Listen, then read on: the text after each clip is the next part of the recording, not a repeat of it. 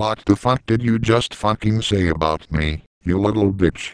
I'll have you know I graduated top of my class in the Navy SEALs, and I've been involved in numerous secret raids on Al Qaeda, and I have over 300 confirmed kills.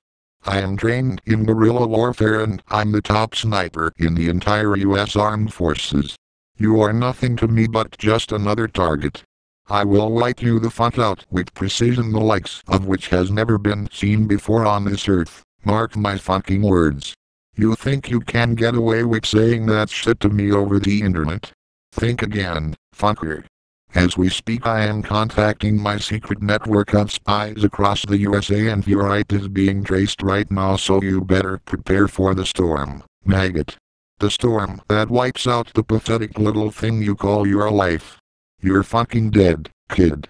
I can be anywhere, anytime, and I can kill you in over 700 ways, and that's just with my bare hands.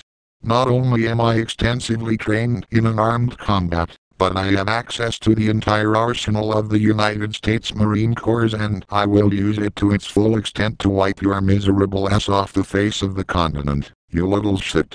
If only you could have known what unholy retribution your little clever comment was about to bring down upon you, maybe you would have held your fucking tongue. But you couldn't, you didn't, and now you are paying the price, you goddamn idiot. I will ship fury all over you and you will drown in it. You're fucking dead, kiddo.